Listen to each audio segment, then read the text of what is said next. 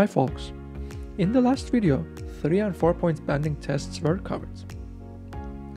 In this video, we will make an introduction to fatigue testing. So, before the fatigue kicks in, let's stretch our muscles and start. Fatigue is a physical or mental exhaustion resulting from a tiring effort or activity. It considerably affects people in terms of Wait, what? Hey! Who tampered with this text? That's not funny. Sorry about that.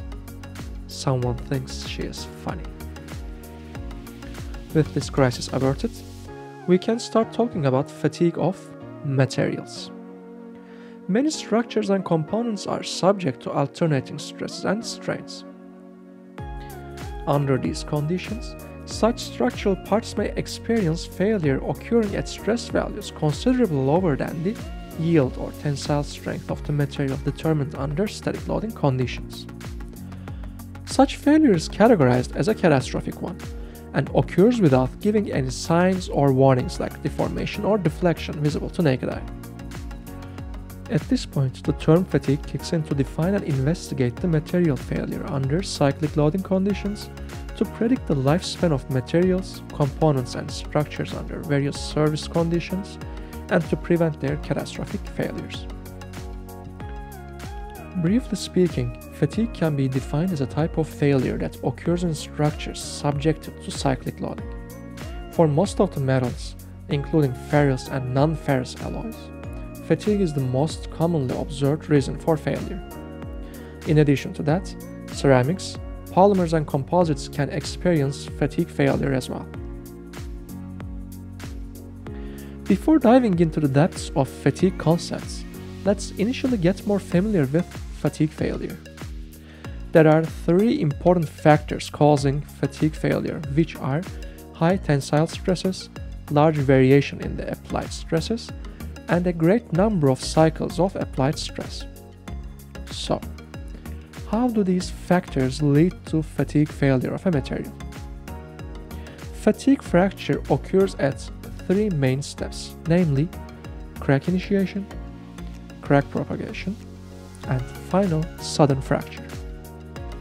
Fatigue cracks always initiate at stress concentration points, also called as crack initiators. Local stresses at crack initiation sites are considerably higher than nominal stress. You may recall the crack stress amplification relation from video number 2.2. A wide variety of surface heterogeneities can act as stress concentrators. Such heterogeneities are significantly important for the detection of potential stress concentration points and for monitoring the crack initiation and later propagation. Once formed, cracks progressively advance and grow under cyclic loading. Two types of markings can be seen at the fracture surface of the fatigue-failed material, namely beach mark patterns and striations. Both these markings are seen as concentric ridges advancing from the origin of the crack through the cross-section of the material until fracture. Beach mark patterns are macroscopic markings, and they can be seen by naked eye without the aid of any optical equipment. Each beach mark pattern indicates a period of time over which crack growth occurred. Fatigue striations, on the other hand, are microscopic and can be observed under electron microscopes. Each striation mark represents the propagation distance of a crack during a single loading cycle. Striation width increases with increasing stress range. Although beachmark patterns and striations look alike, they differentiate in terms of size and origin, with different fracture characteristics. After explaining the reasons and fracture mechanisms of fatigue phenomena, we can now focus on the driving force of fatigue. You may also know them by the name of cyclic stresses. Components under service can experience three types of loading axial, flexural, and torsional. And these loading types produce three different cyclic stress time modes reversed stress cycle, repeated stress cycle, and random stress cycle. Since the beginning of this video, you kept repeatedly hearing the phrase cyclic loading. But what is that? Now, let's take a look at the stress time curve of a specimen tested under fatigue loading conditions. On the y-axis of this curve is the applied stress in megapascal, shown as positive for tensile and negative for compressive loading. And on the x-axis is time, showing the duration of the exposure of material to the varying stress values under cyclic loading conditions. The maximum stress shown on the stress time graph is denoted as sigma max and minimum as sigma min, and both are reported in megapascal. Using these max and min stress values, mean stress, range of stress, stress amplitude, and stress ratio can be determined easily. Mean stress is denoted as sigma m and is reported in megapascal and is equal to the average of maximum and minimum stresses in cycle. The range of stress is denoted as sigma r and is reported in megapascal and simply stands for the difference between sigma max and sigma min. Stress amplitude is denoted as sigma a and reported in megapascal and defines the amplitude of the applied maximum and minimum stress with respect to the mean stress and is equal to the half of the range of stress value. Lastly, the stress ratio is denoted as R and is the ratio of minimum stress amplitude to that of the maximum stress. Now, let's move on to the cyclic stress time modes. Reversed stress cycles show regular and sinusoidal time dependence, and the stress amplitude is symmetrical with respect to the mean zero stress level.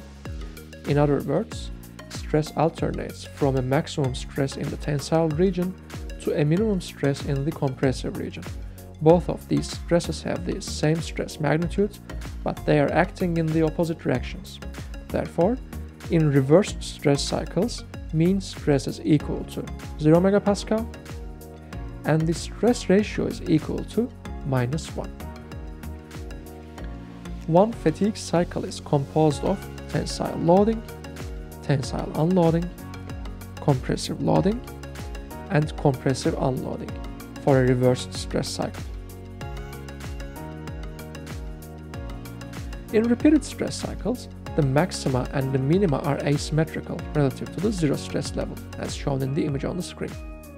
Here, the mean stress and the stress ratio are equal to any value other than 0 megapascal and minus 1 respectively. The last stress time mode observed in fatigue loading is the random stress cycle, in which the stress level may vary randomly in amplitude and frequency. Hence, we cannot talk about a constant mean stress, range of stress, stress amplitude, or stress ratio values.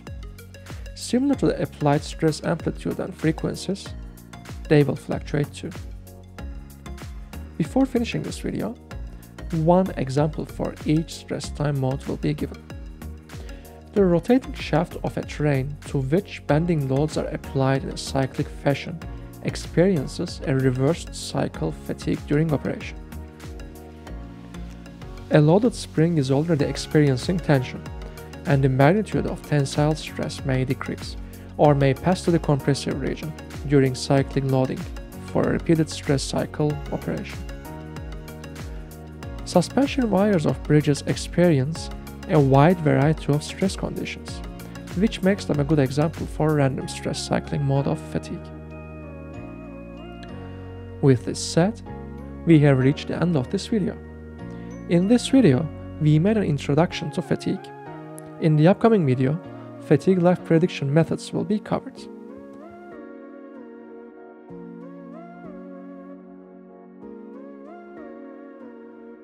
See you on the next one.